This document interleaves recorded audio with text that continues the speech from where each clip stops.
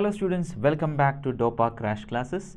Now we are continuing with the skeletal system. As we have already told, this skeletal system is uh, having or is, compo is composed of totally 206 bonds. So you have to individually know regarding the numbering or the division of these numbers actually among the among the divisions of this skeletal system. The skeletal system is mainly divided into two parts that is axial skeleton and appendicular skeleton axial skeleton totally comprises 80 bonds totally. 80 bonds totally comes under this axial skeleton. And this appendicular skeleton totally we have 126 bond which is actually distributed over what all bonds you know? We mainly have limb bonds. We mainly have limb bonds in which totally 120 bonds are there.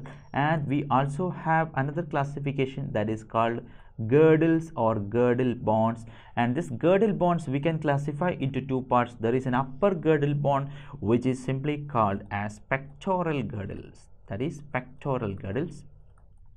And we have pelvic girdle and we have pelvic girdle so this girdle bond obviously the numbering it is evident. Here there will be six bonds and this this six girdle bonds is actually divided among pectoral girdles. In the pectoral girdles we totally have 4 bonds and obviously here there will be 2 bonds 4 plus 2 is equal to 6 so this is the numbering. And in the axial skeleton as I have already told you totally we have 80 bonds the 80 bonds in the skull in the skull totally we have 22 bonds which is distributed over the cranial bonds as 8 cranial bonds are present and 14 facial bonds are present.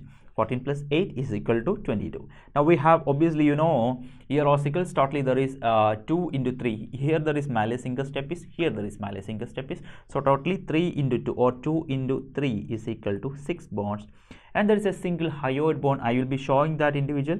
Just i am giving you the uh, numbering only. One bond hyoid a single hyoid bond is present.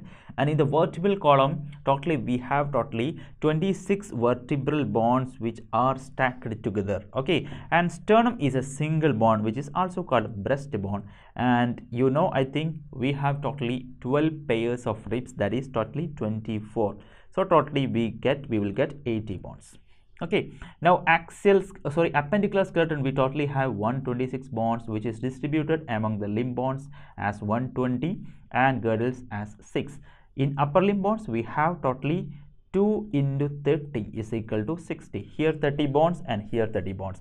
And each individual lower limb also 2 into 30 that is equal to 60 bonds now in the girdles as I have already told we have in pectoral girdle pectoral girdle we have yes we have 2 into 2 is equal to 4 2 bonds here and 2 bonds here.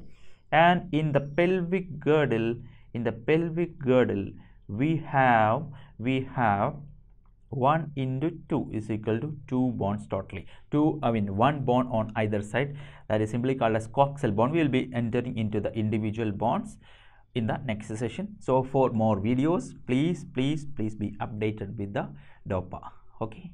Hi all, you are watching a DOPA capsule class now. To know more about DOPA and DOPA capsule, download DOPA app and contact us using this number.